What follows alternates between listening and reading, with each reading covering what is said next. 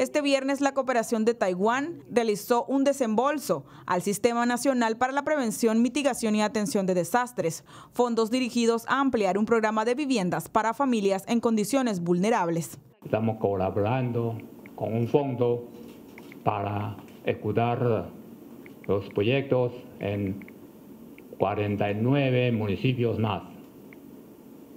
Eso yo creo que el objetivo es para reducir principalmente la vulnerabilidad social y económica de las familias y también así contribuye al bienestar de las familias.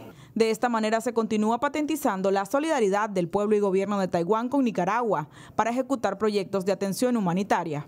Ampliar este programa hoy a, 50 municipios en Nicaragua va, va a traer también muchas sonrisas, mucha tranquilidad en muchos hogares.